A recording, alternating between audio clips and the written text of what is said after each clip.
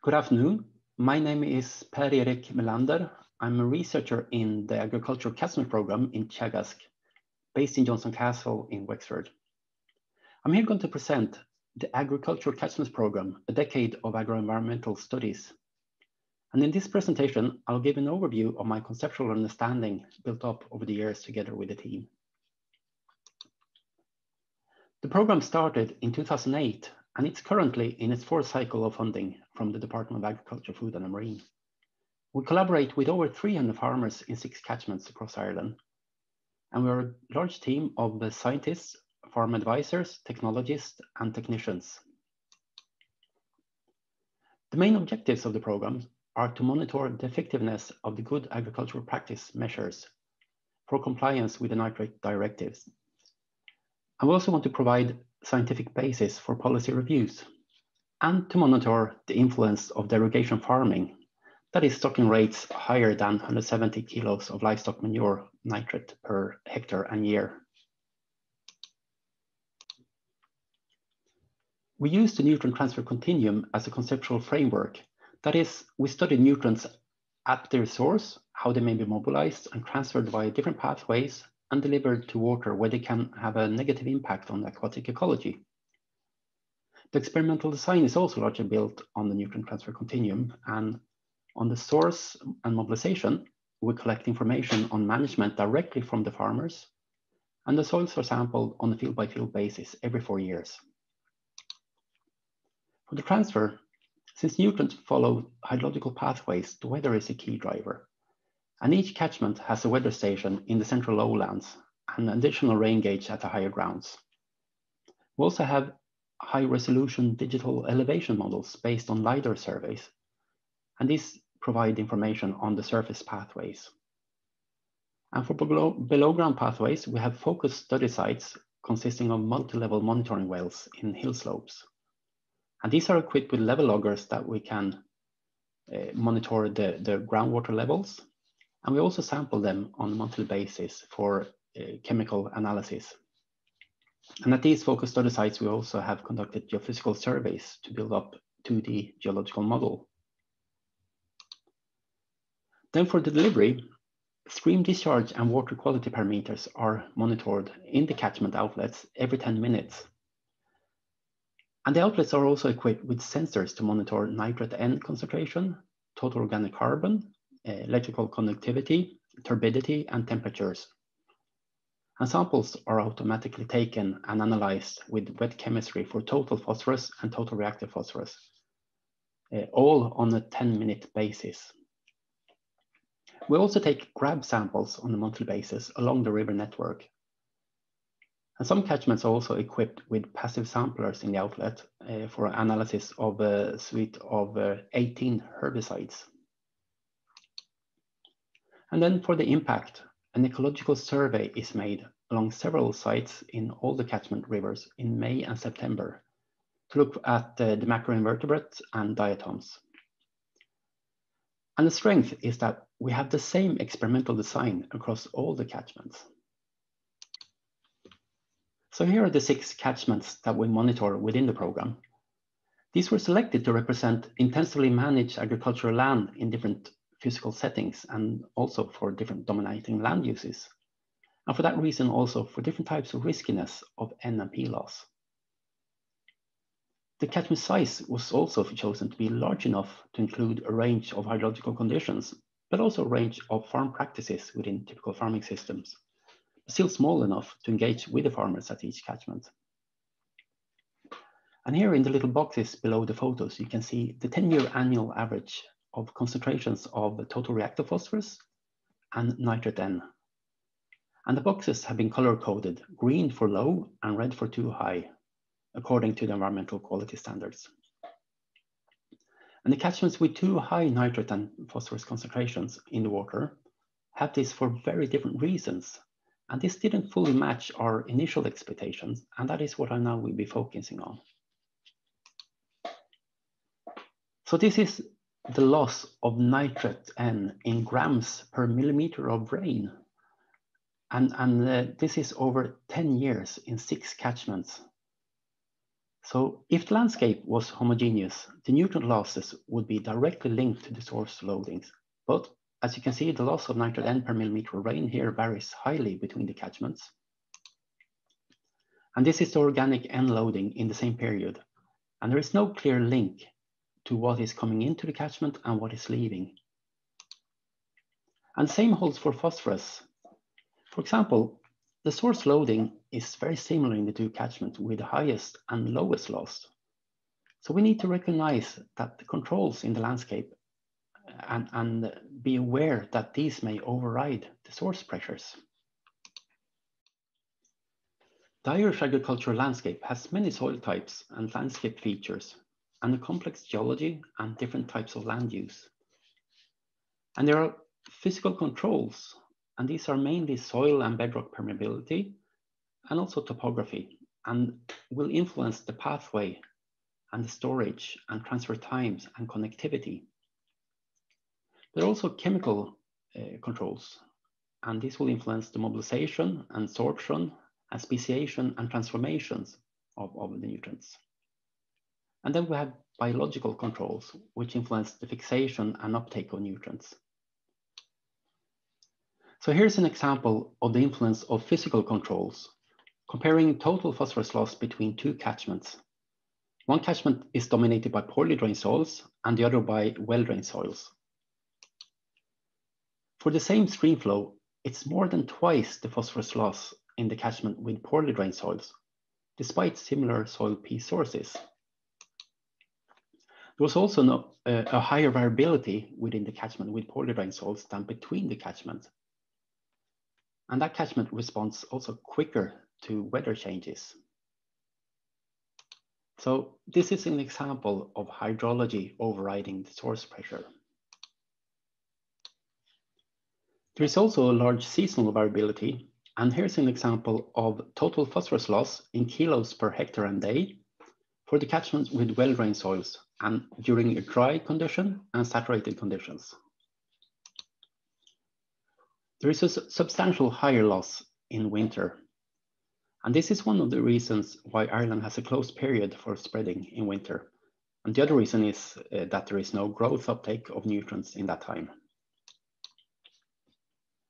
And there are large offsets with big rain events on saturated and bare soils. And these can become quite substantial. But it's not only about rainfall to runoff partitioning. There are also chemical controls. And here's a comparison of uh, phosphorus mobilization in two catchments, both with well-drained soils, but one with iron-rich soils and the other with aluminium-rich soils. For the same soil phosphorus concentrations, there were higher water-soluble phosphorus in the iron-rich catchment. And iron-rich soils favors phosphorus into soluble form. And while phosphorus loss is mostly associated to surface runoff, the catchment with iron-rich soils here had three times higher phosphorus loss via below ground pathways than the catchments with aluminium-rich soils. But soil chemistry can work in the other direction too and retain phosphorus. And here's a spring uh, zone with thin soils. And the soils are rich in calcium and aluminium that can retain the phosphorus. So despite relative, relatively high source pressures and also thin soils and over a thousand karst features in this area, the phosphorus concentration in the main springs are well below the ecological and environmental quality standards. And the soil and bedrock retention capacity explain the good water quality in Cregduff Spring Zone. So we use this to develop new concepts for a phosphorus vulnerability map, which reduced the vulnerability area from initially 97% to 14%. And this better matches what we were monitoring in the catchment outlets. So there are both agronomic drivers and weather drivers for nutrient loss to water, and we're experiencing large changes in both. Agriculture is a large part of the Irish economy, and we're producing more and more food. Ireland exports food to over 175 countries. But also the weather is intensifying with climate change. In Ireland, we're experiencing warmer summers, wetter winters, and more extreme weather events. So if we first look at the intensifying agronomy, two of the catchments have seen a large increase in the stocking rates during our monitoring, but the influence of nutrient loss was very different depending on the controls.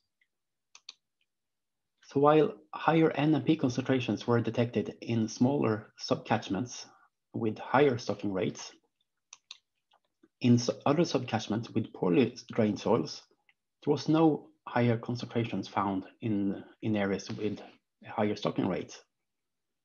So if you see in the graph here, the green marks uh, are N concentrations in uh, subcatchments with low stocking rates, and the reds uh, are subcatchments with high stocking rates. So the black line is the whole catchment um, in the outlet. In another catchment, there has been a large increase in the phosphorus index for soils.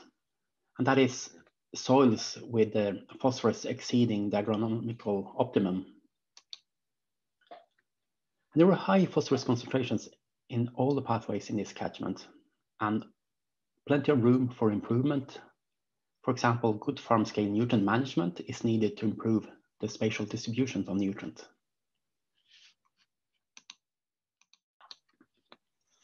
We have also witnessed the effect of an intensified weather. And Ireland's weather is highly influenced by large weather systems such as the North Atlantic Oscillation. And this is driven by a high pressure cell over the Azores and a low pressure cell over Iceland. And the intensity of these is expressed by an index. So positive index typically means warmer summers followed by winters with more large rain events. And here's the time series of the annual average uh, in North Atlantic Oscillation Index since the 50s.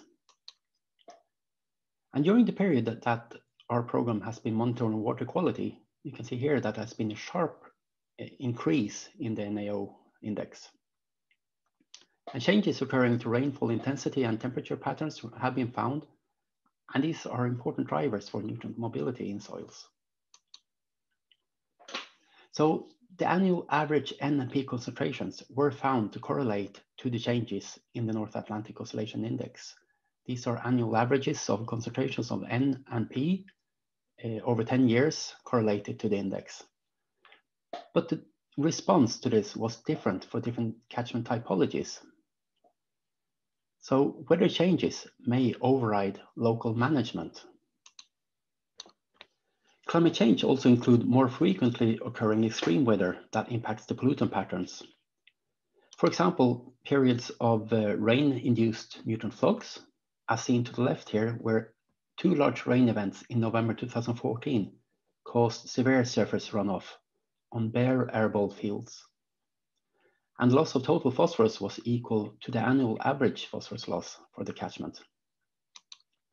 Or periods of drought-induced N loss uh, causing elevated N concentrations during the rains in November after a severe summer drought in 2018.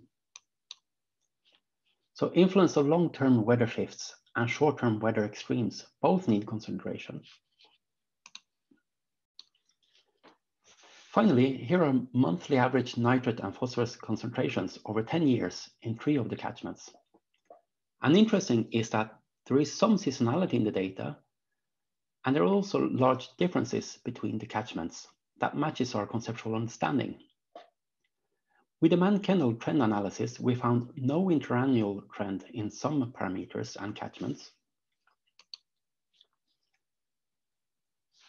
And the phosphorus concentration in Castledockrell catchments were stable over the 10 years. While nitrate N and total reactive phosphorus in Ballycanew and nitrate N concentrations in Timoleague has increased over 10 years. However, there are also interseasonal trends. And the interannual trends are sometimes not reflected by the interseasonal trends and are also sometimes influenced by changes in only some of the months per. Specific months may influence or even counteract interannual trends. And there may also be specific transfer pathways that may dominate the trend in certain months. But this is work in progress. So to summarize, there are critical areas, critical times, and critical pathways for nutrient loss. Physical and chemical controls and weather can override the source pressures. So there are no clear links found between nutrient concentrations in the streams and the source pressures within the ACP catchments. And there are no one size fits all solutions for mitigation strategies. Intensifying agronomic and weather pressures both need considerations. And finally, long-term high resolution monitoring of baseline conditions is needed to provide a process-based understanding of nutrient loss to water in the agricultural landscape. And the ACP catchments can be seen as sensors responding to changing pressures in different ways. So we can learn from these and scale up our knowledge to larger catchments. So thank you very much for listening.